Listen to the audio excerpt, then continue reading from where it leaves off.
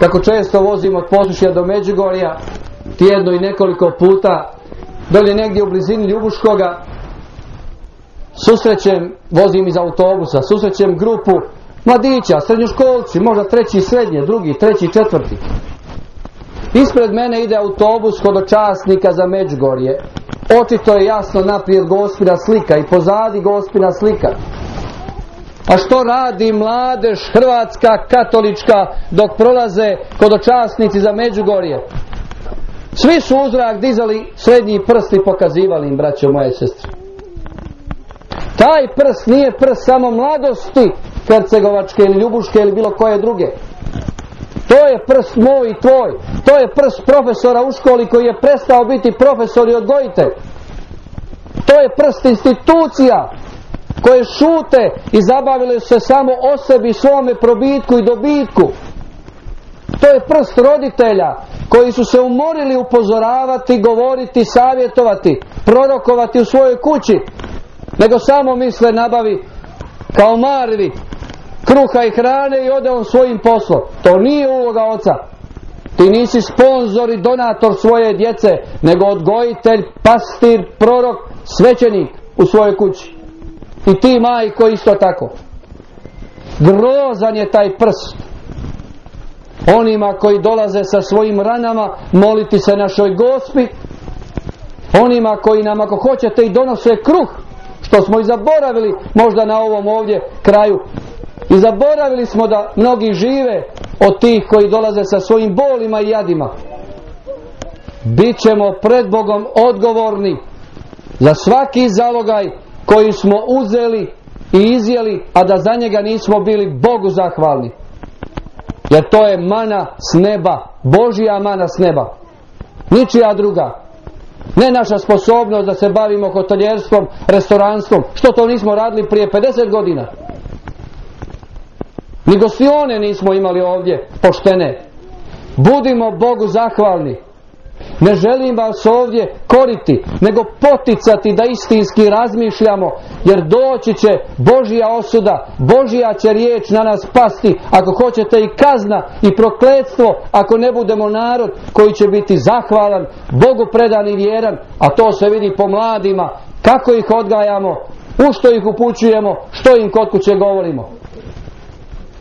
Jer se zna od roditelja čut kod kuće, ma pusti pratra šta on govori. Ma ne briga me. Reci mu da sam ja zločinac. A da Bog da da on bio dobar. Shvatite braće i sestre da proroci naših dana, mi svećenici, imamo tešku službu, ali odgovornu. Da moramo vama govoriti. Nije ovo pitanje moje dobre želje ili nekog hira da sam ja iz došao ovdje. Nego potrebe da ovaj narod, da mi zajedno svi još jedan put istinski se uputimo Bogu, a onda će naši vanjski manifesti znakovi biti drugačiji. Vidite šta prorok Ezekijel piše kad govori o navještaju i tu ćete razumjeti ulogu nas svećenika. Konačno jednom, kaže prorok Ezekijel, tebe sam sine čovječi postavio za stražara domu Izraelovu. Ako čovjek propadne u svom grijehu, a ti ga ne opomeneš, on će propasti, ali njegov ću život tražiti iz tvoje ruke. E sad razumi, sad razumi što mi moramo činiti fratri. Jer ako mi ne upozorimo na prijestupe i grijehe, vi ćete propasti. Ali osim vas, propadamo i mi jer će se vaš život tražiti iz naše ruke za sve ono što smo prešutjeli, za sve ono gdje smo vam aplaudirali, a trebalo je plesku udariti, za sve ono gdje smo se smijali, a trebalo je plakati nad onim što činite i što činimo zajedno. Na nama je odgovornost i danas kad slavimo i nedjelju dobrog pastira, da budemo pastiri ovoga naroda, a ne da dopustimo da nas pretvaraju u ovcu, kao što se na svim mogućim relacijama pokušava, želi se relativizirati snaga i moć svećenika i crkve. Ne treba nama slava, ne treba nama priznanje. Mi se borimo za Boga, da imate pravo na njega.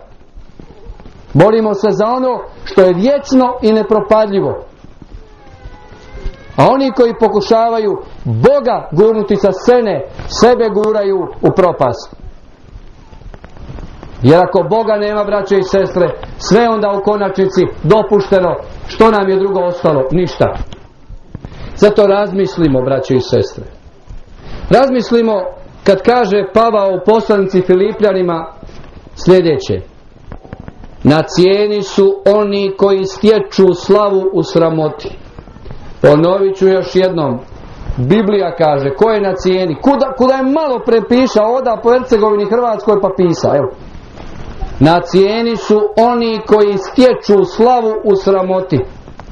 Pa se zapitajmo malo, ko su nam zvijezde, ko su nam uzori, ko su nam ideali, koga želimo slijediti i zašto. Mnogi danas slavu svoju u sramoti stječu, gdje su spremni sve učiniti i obitelj izrugati i ženu ostaviti i muža prevariti i grudi razgoličiti za trun slave i tašte od ovoga svijeta i kruha koji nam daje. Zar ne vidite, braće i sestre, da se takvi nameću kao modeli postupanja života, a svi smo mi drugi kao zaostali, nekakvi zatucani hercegovci, katolici. Da Bog da da jesmo zatucani. Bolje biti zatučan nego utučen do kraja života.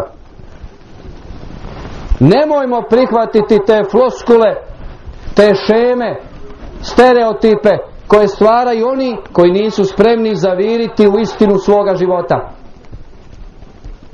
Jer danas se događa da smo Boga ušutkali, Božije zapovjedi svojoj prigodi prilagodili, istinu smo pomalo relativizirali i onda čini što hoćeš u ime nekakve ideologije, tolerancije i prihvaćanja svega i svačega. Nema tolerancije kad je grijeh u pitanju. Nema tolerancije kad je nastranost u pitanju. Nema tolerancije kad se govori što je obitelj, a što ona nije. Šta to znači tolerancija? Hoćemo li sutra doći do toga da ću ja ubiti čovjeka, a vi ćete morati to tolerirati? Jer to je moje pravo, meni se prohtjelo. Svašta će nam se prohtjeti ako Boga sa scene izbrišemo i gurnemo u stranu. Zato vam danas želim, braće i sestre, da zajedno sa sobom i sa svojima kod kuće istinski vidite želite li vi baš biti katolici ili ne želite. Nema ti od toga ništa, mi na popisu užupnika, mi ovdje blagoslovim kuću, nema od toga puno vajde. To su vanjski izričaj i manifesti koji su lijepi, pa možda i pobožni. Ali nama trebaju danas svjedoci koji će poput svetoga Jure zmajeve ovoga svijeta ubijati. Kažu da je sveti Jure kad je zmaj puštao vatru i otrovni plin da ga je usmrtio. Vidite odakle danas dolaze zmajevi silnice zla. Preko napisa i preko medija širi se mržnja, širi se zlo, širi se kultura smrti. Nasuprot onoga na što nas Bog poziva kultura života. I ja vam ne vjerujem u hrvatski narod koji je pokazao kao solidarnost kad je ova Nora Fora umirala šitu. Da, lijep je to gest. Ali ljudi moji, zašto se pravimo licemjeri? Kao Hrvatska spasava jedno dijete, što je dobro. A šutimo da je jučer u Hrvatskoj 80 nevine djece u majičnoj utrobi ubijeno i o tome niko ništa. I mislimo sa svojih 10 kuna nekoj nori ili sličnima utišati svoju savjest. Nećemo se tako spasiti. Moja Hrvatska i moj hrvatski narod dok šuti nad pobijenom nevinom dječicom u majčinim utrobama a pravi mi se vamo humanitarac spašavajući nekoga u operaciji šaljući ga avionom po Americi to je licemjerstvo to je izdaja braće i sestre to je ono što je Ljuda učinio, ljubio je Isusa, izdao ga je. Ljubio je Isusa, izdao ga. Poljubcem se izdao Sina Božjega. Daj se probudimo, braćo i sestre, što kažu gore, skuliraj se malo. Pa vidi oko sebe, a mi utišavamo svoju savjest, jer nemamo hrabrosti konačno, prave stvari prozvati pravim imenom, nego se krijemo i prekrivamo iza malih nekih dijela i da tako kažemo kako smo dobar narod. Da, dobar si u tom bio, ali što druge stvari ne činiš. Zašto ne pomažeš majkama koje nemaju Facebooka nikako, ni struje nemaju, imaju bolesnu djecu. Na takvima šutimo.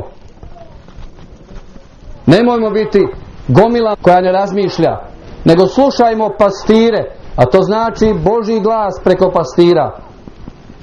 Da gledamo i progledamo, jer ovaj narod i mi ovdje smo uvijek bili koplje ispred mnogih u gledanju toga, a stalno su nam govorili da smo staromodni i stereotipni.